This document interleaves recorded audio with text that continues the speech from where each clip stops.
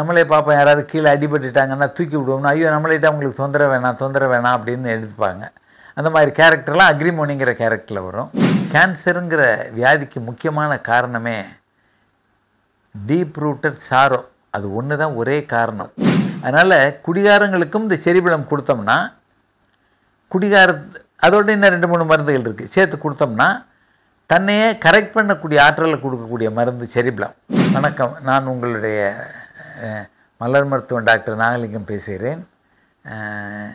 அடுத்த இந்த எபிசோட்டில் அவருடைய மருந்துகளின் குணாதிசயத்தை பற்றி முக்கியமான மருந்துகளை ப பார்ப்போம். அதில் முக்கியமான மருந்துன்னு எடுத்துகிட்டே வந்தோம்னா அக்ரிமோனி அதான் அவருடைய முதல் மருந்து. அந்த அக்ரிமோனிங்கிற மருந்து அவர் எப்படி எடுத்திருக்காருன்னா வேறு யாருக்கும் நம்மளிட்டு தொந்தரவு இருக்கக்கூடாது. அப்படிங்கிற குவாலிட்டியோட தான் தன்னை கஷ்டப்படுத்தினாலும் பரவாயில்ல தன்னைட்டு அடுத்த ஆளுகளுக்காக தொந்தரவு கொடுக்கக்கூடாது அப்படிங்கிற குணாதிசயம் உள்ளவர்களுக்கு அப்படின்னு எடுத்திருக்காரு. நம்மளே பார்ப்போம் யாராவது கீழே அடிபட்டுட்டாங்கன்னா தூக்கி விடுவோம்னா ஐயோ நம்மளிட்ட அவங்களுக்கு தொந்தரவு வேணாம் தொந்தரவு வேணாம் அப்படின்னு எடுத்துப்பாங்க. அந்த மாதிரி கேரக்டர்லாம் அக்ரிமோனிங்கிற கேரக்டரில் வரும். அடுத்தபடியாக பீச் அப்படின்னு ஒரு கேரக்டர் எடுத்திருக்காரு. பீச் அப்படிங்கிறது கொள்கை பிடிவாதம் வைத்திருக்காங்க. நம்ம தமிழில் சொல்லணும்னா பு- நான் பிடிச்ச முயலுக்கு மூணு கால்னு சொல்லக்கூடிய கொள்கை பிடிவாதம். தப்பான கொள்கையாக இருக்கும். அது அடுத்தால் சொன்னால் நான் கேட்க மாட்டேன். புள்ள காலையில் எடுத்தால் ஜாமான் எடுத்த இடத்துல வைக்கணும்போம். அது நம்ம விரும்பினா நம்ம வச்சுக்கலாம். அந்த சின்ன பிள்ளையை சத்த போடக்கூடாதுன்னு நினைக்க மாட்டோம். எடுத்தால் எடுத்த இடத்துல வைக்கணும் அப்படின்னு பிடிவாதங்கள் குணத்தோடு வாழ்வோம் இல்லையா? அந்த பிடிவாத குணம் நம்மளுடைய எதிர்மறையான குணம்னு தெரியாமல் நம்ம வளர்த்துக்கிட்டு வரோம். அந்த குணாதிசயத்தினாலே நம்மளுடைய உயிராற்றல் சிதைக்கப்படுதுன்னு தெரியாமல் வேஸ்ட் பண்ணிக்கிட்டே இருக்கோம். அதனாலே நமக்கு பின்காலத்தில் வியாதிகள் வருதுன்னு தெரியாமல் பண்ணிக்கிட்டே இருக்கோம். கொள்கை நம்ம ஒரு ஒரு பர்ஃபெக்ஷனை நமக்குள்ளே எதிர்பார்க்கணுமே ஒழிய அடுத்த ஆள்கிட்ட எதிர்பார்த்துக்கிட்டே இருக்கக்கூடாது. அந்த பர்ஃபெக்ஷனை அடுத்த ஆள்கிட்ட எதிர்பார்க்கக்கூடிய குணாதிசயம் உள்ளவங்களுக்கு பீச் அப்படின்னு ஒரு மருந்து. அப்புறம் ஒயிட் செஸ்னட் அப்படின்னு ஒரு மருந்து பண்ணியிருக்காரு. அந்த ஒயிட் சேஸ்டன்ட் மருந்து அப்படிங்கிறது தேவையற்ற எண்ணங்களை நாம் மறக்கடிக்கக்கூடிய ஆற்றலை கொடுக்கக்கூடிய மருந்து. பிஸ்னஸ் நொடிச்சு போச்சு ஒய்ஃப் இறந்து போனால் அல்லது வேலை இல்லாமல் போச்சுன்னு நடந்த விஷயத்தை திருப்பி திருப்பி திருப்பி மைண்டில் ஓடிக்கிட்டே இருக்குது. அந்த அன்வான்ட் டுவெல்லிங் தாட்ஸ் அதை மறக்கடிக்கக்கூடிய வேலையை ஒயிட் செஸ்டன்ட் பண்ணும். மறக்கடிக்கக்கூடிய வேலைன்னா உடனே அந்த அந்த இறந்து போன மனைவி இறந்து போயிட்டாங்கிறத மறந்துட மாட்டோம். அது நம்ம உடம்புல டீப் ரூட்டட் சாராவாக இருக்காது. வேரோடி போகாது. இறந்து போயிட்டா அவ்வளோதான் தொழில் நொடிச்சு போச்சு அவ்வளோதான் அப்படின்னு இருந்துருவாங்களே ஒழிய போச்சே போச்சே போச்சேன்னு வருத்தப்பட்டு பட்டு ரொம்ப சஃபரிங் பண்ண மாட்டாங்க. இந்த ஒயிட் சேஸ்டட் மருந்து ரொம்ப முக்கியமான வேலை என்னென்னா இன்றைக்கு மனிதன் இனத்தை ரொம்ப பாதிக்கக்கூடிய கேன்சருங்கிற வியாதிக்கு முக்கியமான காரணமே டீப் ரூட்டட் சாரோ. அது ஒன்று தான் ஒரே காரணம். அந்த அந்த சாரோவை அவங்கள மறக்கடிக்கக்கூடிய வேலையை ஒயிட் சேஸ்டன்ட் பண்ணுறதுனால கேன்சர் பேஷண்ட்டுக்கு ஒயிட் சேஸ்டனுங்கிற மருந்தை சேர்த்து மித்த மருந்துகளோட கொடுக்கையில் நல்ல பூரண குணம் தெரியுது. அது கேன்சருக்காகன்னு இல்லை இனி தேவையில்லாத எண்ணங்கள் நம்மளுடைய வாழ்க்கையில் முன்னேற்றங்களை தடைப்படுத்திக்கிட்டு இருக்கு. ஒவ்வொரு இதயத்திலையும் தேவையில்லாத எண்ணங்கள் சுமை ஆக ஆக சுறுசுறுப்பாக வேலை பார்க்க முடியல. அதுதான் காரணம்னு தெரியல. அதனால் ஒயிட் செஸ்னட்டை கொடுத்து மாற்றிக்கலாம் இன்று நிறைய பேருக்கு தூக்கம் வரல நைட்டு அப்படிங்கிறதெல்லாம் தேவையற்ற எண்ணங்கள் பாஸ்ட்டு ஃப்யூச்சர் எல்லாத்தையும் மனசில் போட்டு அதை நினச்சிக்கிட்டே இருக்க தான் அதனால் தூக்கம் வரலைங்கிறவங்களுக்கும் ஒயிட் செஸ்னட் கொடுத்தோம்னா தேவையற்ற எண்ணங்களை மறக்கடிச்சிட்டு அவங்க பார்ப்பாங்க. அது ஒரு முக்கியமான மருந்து. அடுத்தபடியாக இம்பேஷன்ஸ் அப்படின்னு ஒரு மருந்து எடுத்திருக்காரு. அது பொறுமை இல்லாதவங்களுக்காக. நீங்கள் இந்த பொறுமை இல்லாத ஆளுகளுக்கு உதாரணம் சொல்லணும்னா இப்போ பார்த்தீங்கன்னா ஒரு சிக்னல் லைட்டு க்ரீன் சிக்னல் வந்தோடனே பத்தாவது கார்காரரு ஹார்ன் அடிப்பார். இந்த ஒம்பது பேர் போனால் தானே நம்ம போக போகிறோம் அப்படிங்கிற பொறுமையே இல்லாமல் அவருடைய வாழ்வியல் முன்னேற்றங்கள் பூரா இந்த பொறுமை இல்லாதனால தான் நம்ம இழந்துக்கிட்டு இருக்கோம் அப்படின்னு தெரியல அவருக்கு.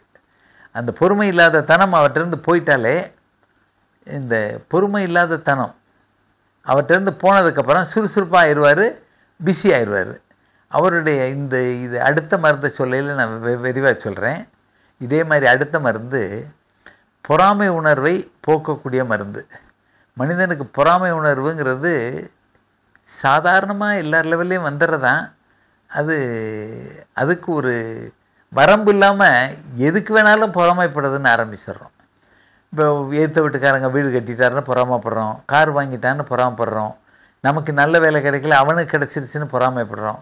இந்த பொறாமை உணர்வு என்ன பண்ணுதுன்னா இருபத்தி நாலு மணி நேரமும் அந்த பொறாமை எண்ணம் நம்மகிட்ட பதிவாகி இந்த பொறாமை எண்ணத்தோடே நம்ம வாழையில் நமக்கு உள்ளே போன பிராணா அந்த பொறாமை எண்ணங்கள்லே விரயமாகி நம்மளுக்கு ஆக்கப்பூர்வமான வேலைகளை செய்ய விடாமல் ஆக்கிக்கிட்டே இருக்கு உடம்புல.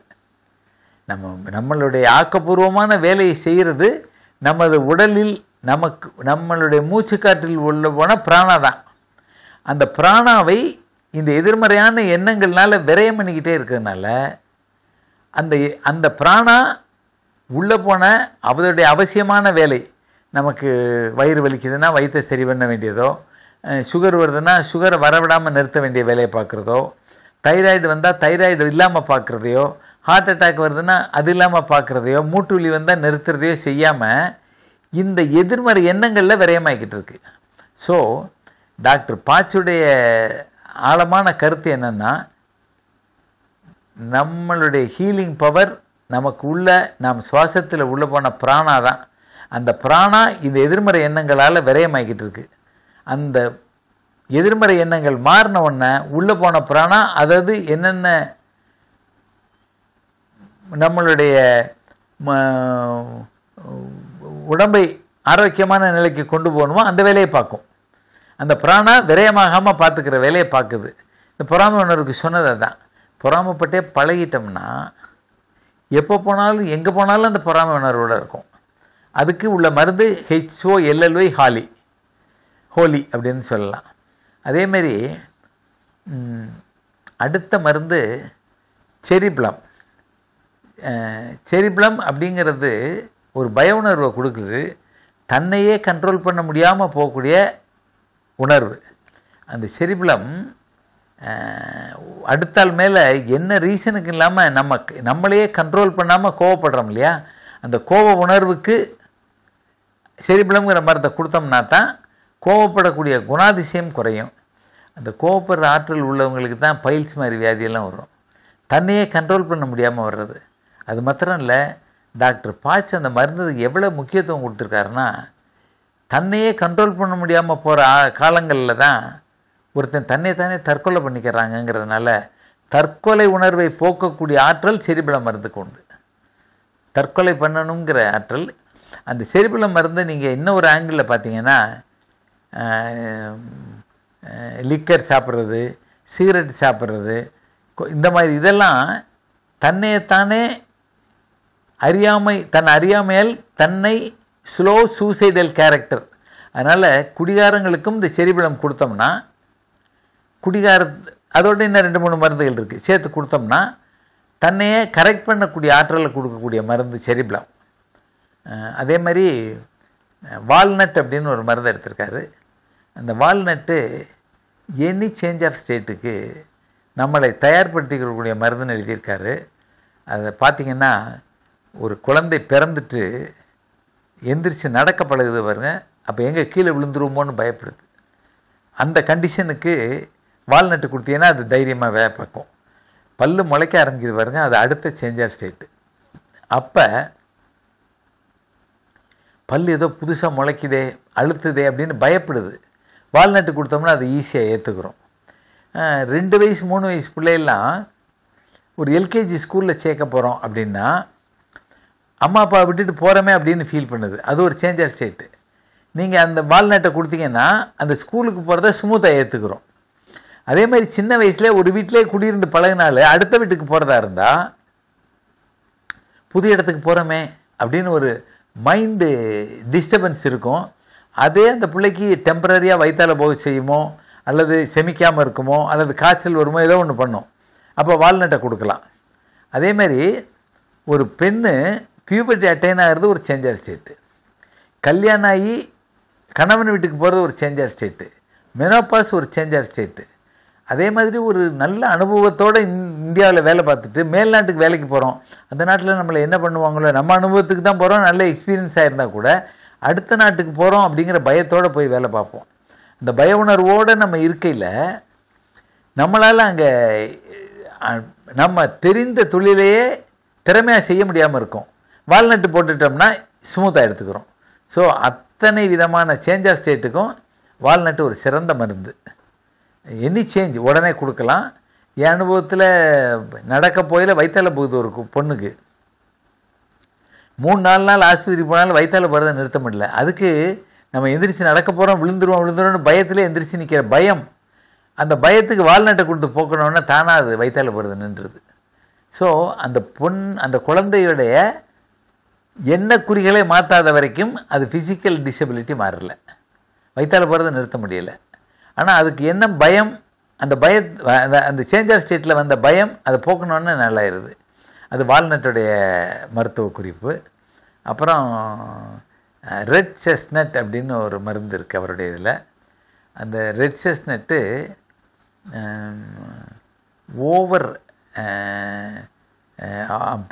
புருஷன் மேலே குழந்தை மேலே ஸ்கூலுக்கு போனால் அது அஞ்சரை மணிக்கு வரலைன்னா அஞ்சே முக்கால்னா அடிபட்டுருக்குமோ ஆக்சிடென்ட் ஆகிருக்குமோ கடத்தியிருப்பாங்களோ?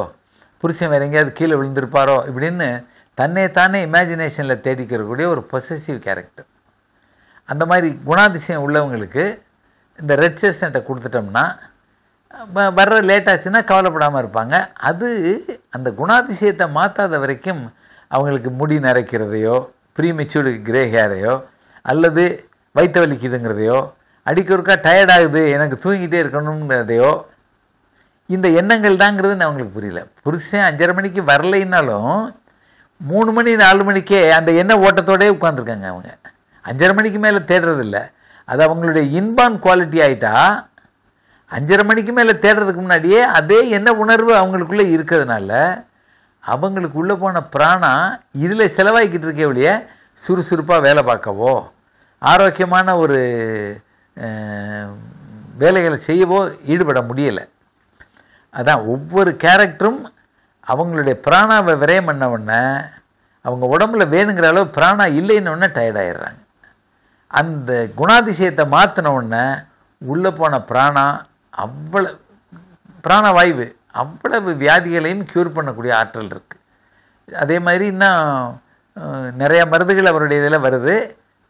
அடுத்தடுத்த எபிசோடுகளில் அதை பற்றி விரிவாக பார்ப்போம். நன்றி வணக்கம்.